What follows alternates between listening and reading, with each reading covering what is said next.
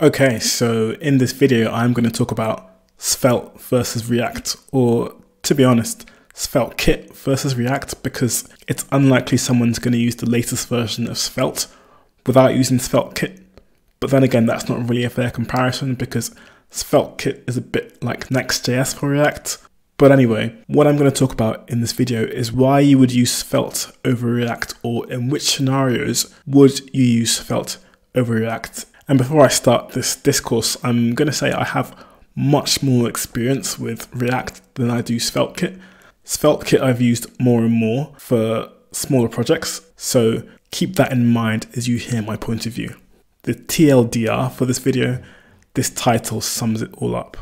Svelte for sites, React for apps. And I haven't read this post, I'm going to share a link in the description, but I think the title summarizes what I'm going to talk about. I think SvelteKit is really easy to get up and running. If you look at the commands to get a project running, it's just this, and you have pretty much everything you need. You don't really have to install any extra libraries or packages. If you're building a website, SvelteKit has everything you need. The file-based routing is really impressive, and I know frameworks like Next.js have this for React, but like I said, this just works out of the box in SvelteKit. However you organize your files is how your project will be routed.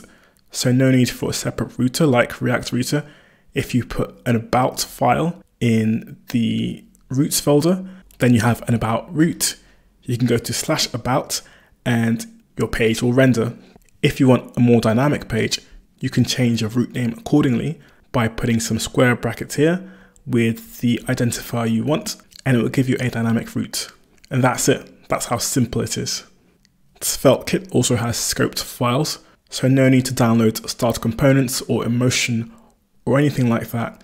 You can just write your CSS or Sass in your component file and it will figure out how to name the class names automatically so they don't clash with class names in other components.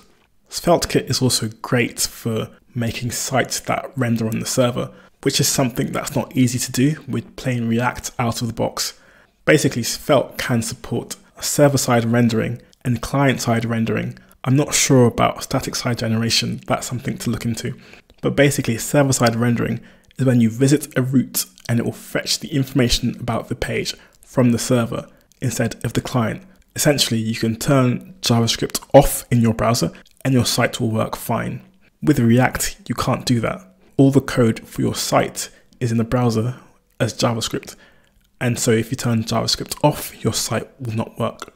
Now, there are many other benefits to SvelteKit, but the few I've given, in my opinion, are amazing features for you to build a website really quickly.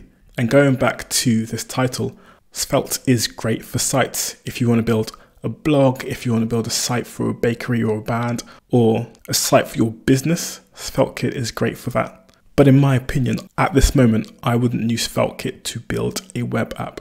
And a web app is different from a website. I mean, they're kind of essentially the same thing, but the way they work and what a user expects from a web app to a website is different.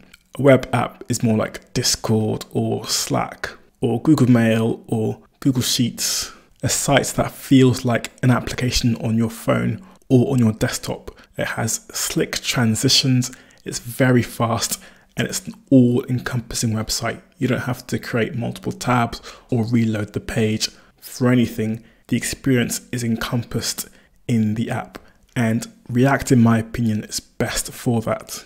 And I'm going to give you three reasons why I'd use React for an app over SvelteKit. The first reason is that React has a much bigger community. So anything you'd want to do, any issue you have with React will be on Stack Overflow and GitHub, and any feature you want to build, no matter how unique it sounds, someone has an article about it or an npm package. Most of the problems with React have been solved. And this is down to the fact that React was released much earlier than SvelteKit.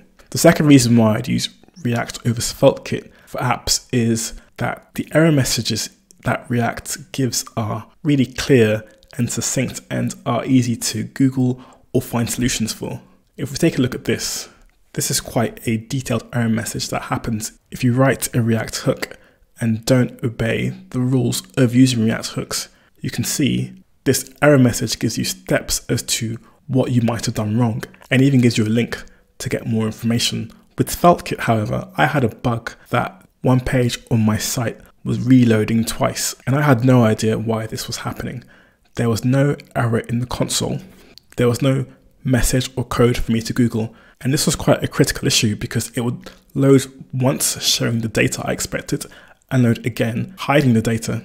I spent a long time Googling and I eventually found the solution, but it would have been much easier if there was an error message that I could search or look for. And this is one of many examples that I've had with SvelteKit errors. I'd have no error message or very cryptic error messages that made it difficult to search and find answers that were specific to my problem. The third and final reason why I'd use React for apps over SvelteKit is something called reactivity.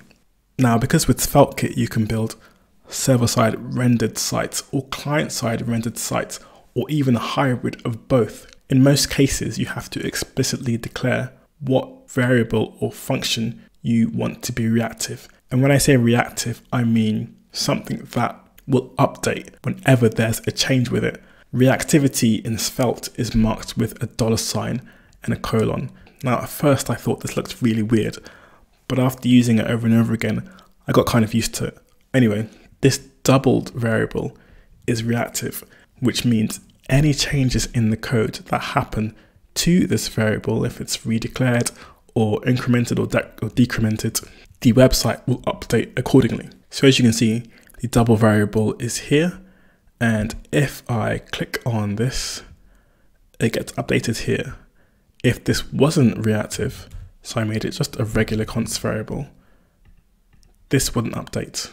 This might seem odd to someone coming from React because in React, all your state values are reactive. There's no way to create state values, some state data, and not make it reactive. So you don't have to explicitly declare what you want to be reactive. Now, for something like a simple variable, reactivity works fine. But in my experience using SvelteKit, I had a lot of issues with reactivity when it came to creating reactive arrays or objects. So if we look at this example here, this is uh, an array called things up here. And if this was reactive, it would look like that, which is fine. Now, if I didn't have this code in the brackets, the reactivity here wouldn't work.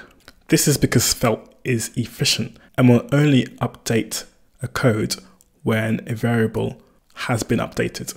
So I would have to explicitly update this array for this code down here to re-render with the update. So as you can see here, the things variable has to be reassigned to the updated version of things for this to work. As you can see, it's removing the first entries in the array. But if I just did things slice, that wouldn't work. This is an issue that caught me out a lot. And furthermore to that, if say I wanted to update a specific value in things.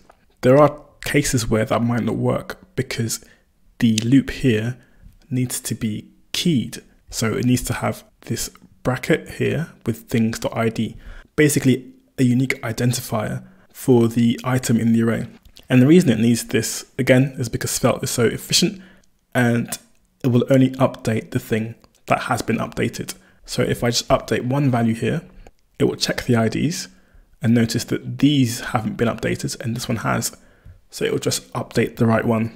But again, if you didn't know that and you just expect reactivity to work like it does in React, then like me, you'd be caught out.